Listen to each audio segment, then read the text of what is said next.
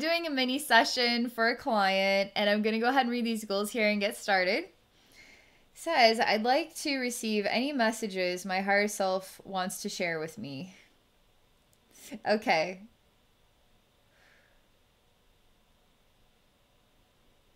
Hmm. Wow, there's it feels deep.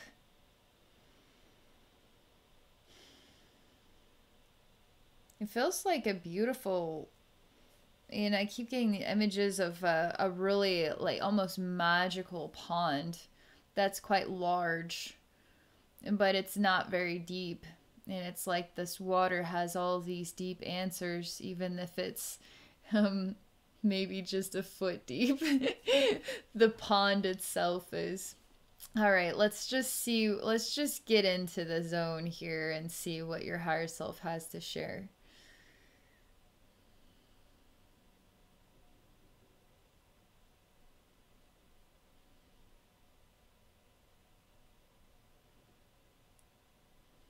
This is real. There's a beautiful morning mist. And the mist is so thick that you're standing at the edge of a what is a very large majestic pond. It feels like a holy sacred water space.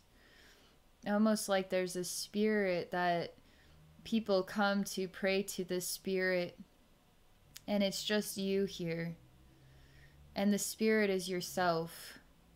There's really tall reeds that are even taller than you. Like they seem to kind of um, they go around the edges of the pond, so it feels very intimate. So if anybody was here, you'd be able to see them because there's really only one open place, which is where you're standing. And then the rest is a still pond with all these very tall reeds, almost like they're definitely not as tall as trees, but they they do create um, a secluded place. The mist is very thick.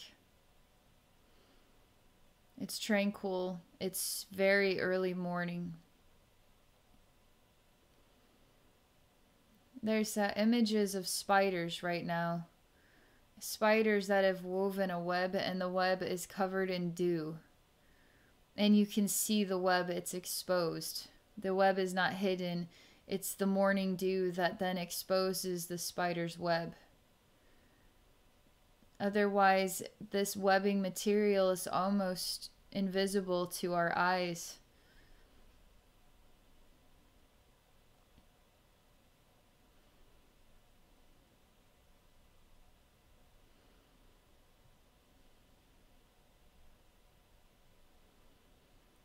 You choose to walk into the water, to be one with the water, which is then one with the spirit of the water, which is then one with your higher self.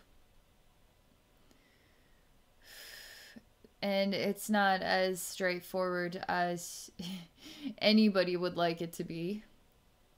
So you're starting to walk into the water and it, it's turning very muddy and it's it looks to be only six inches, maybe a foot deep max. The entire pond is, which is quite large, like a lake almost. And when you walk in, you go deeper and deeper and deeper and deeper and deeper into the mud. So you're completely covered in mud, and, and only your head now sticks out of the water. You're trying to get to the center of this pond and you can't do it. You can't do it.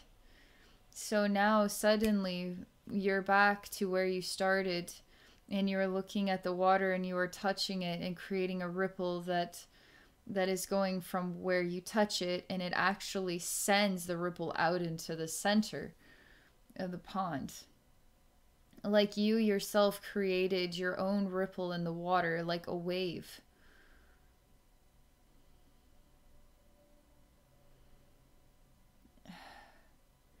this is hard because you're trying to make a connection and your attempts are not successful. It feels so pointless.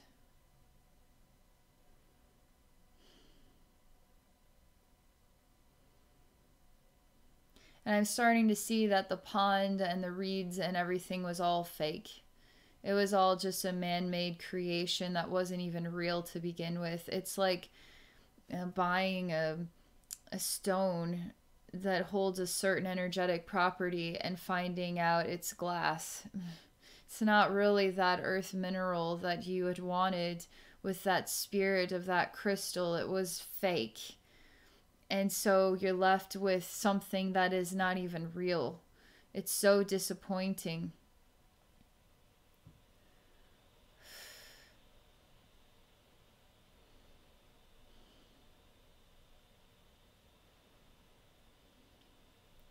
Is bringing up anger from behind your heart about the struggle of this journey. It's bridging from being human to being spirit and then being a spiritual human. Like there's something of the oneness of that awakening. The spirit in your human form, the human form awakened to the spirit within, and then being, walking the path of that oneness of human and spirit. But everything you do as a human to try to make the connection with spirit it just seems like it doesn't work. It doesn't create the effect. Doesn't create the event. So you're stuck being human and you're wanting to grow out of this you're wanting to grow out of this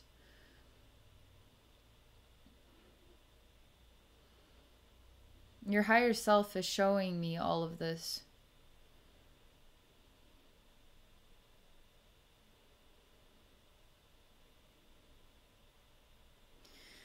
Okay, this is complicated because I'm really experiencing what it's like to be human and not know how to be a psychic person or like a, an awakened um I mean it's psychic gifts it's literally being able to communicate with the spirit realm that sort of thing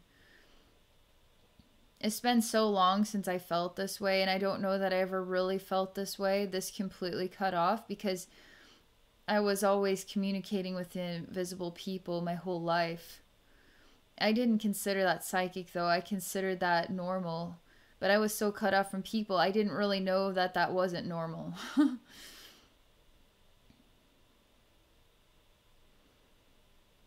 and I wouldn't just talk to invisible people, I would get their I would get a feeling of what they were saying to me and oftentimes it wasn't what I wanted to hear. so I would be annoyed and rolling my eyes at the these invisible people that never tell me what I want to hear. but that was very kind of childlike cuz I was very young at that time. And it's not about them actually saying anything at all. It's just a feeling inside that you get. I don't hear them say anything. I don't see them. I sense them. I become aware of the communication. It's like a clear cognizance it's just an awareness. So right now it's almost like we're trying to break down what is the veil that you have decided is what it is to be human because you've been more connected to your higher self than you're aware of. You've been more connected to your spirit guides and everybody than you've ever been aware of. It's almost like there's a fabricated um, idea of what it is to communicate with the spirit realm just like there's fabricated crystals and fabricated stuff out there. It's not really authentic. Um, but you have been authentically connected this whole time. And it may not be what you thought it was. Like i thought to be psychic was to be completely aware all the time of and you actually see them with my eyes. Like see angels see auras see but no i i experience i am aware through energetic experience and processing and i close my eyes and i go to an alternate state of awareness that's outside of being human so when i go to walmart to get my groceries i'm not i'm totally human at that time but when i'm doing this journey for you i'm i'm in a meditation. I'm I'm I'm feeling things. I'm becoming aware, okay? Two st- different states of being, but I'm still completely human. And part of this is working with others too to discover it for yourself.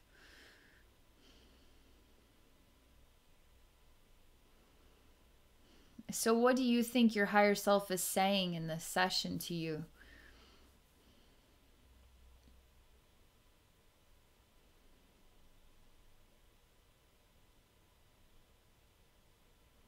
It feels to me like you're ready to break out of a type of um like a box of not being aware of how truly connected that you are, wanting to know how to feel more connected um, to be more psychically tuned in, to be able to receive messages for yourself from your higher self. You couldn't be closer to your higher self because you already are your higher self. It's just becoming more and more aware of that through day to day life, really boring day to day, year after year life experiences. you become more aware, especially when you are choosing, your intention is to become more aware. You will become more aware.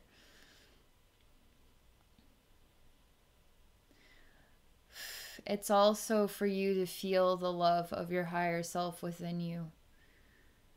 I mean, you literally carry a purse inside your own heart that's made out of gold, and there's a star like its own sun, and you carry the your higher self with you everywhere you go and you couldn't be closer to your higher self at all times. So it's uh, not just a message, it's like it's also the feeling, the connection. So you can feel your higher self in your heart right now by just choosing to feel that. What what what feeling comes to you when you choose to feel your higher self in your heart. I try to mimic that, try to create the feeling and now feel it. It can feel warm. You can say, I'm going to explore the feeling of warmth in my heart.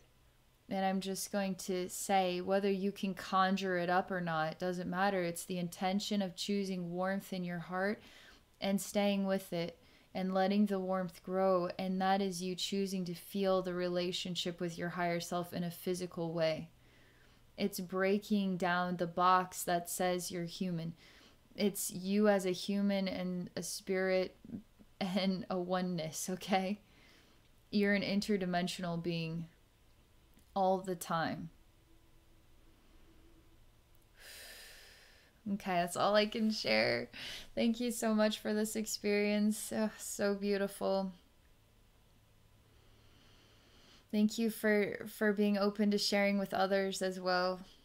And for those watching, if any of you are interested in exploring a psychic session with me, please visit me at my website at abbeynormalswisdomquest.com.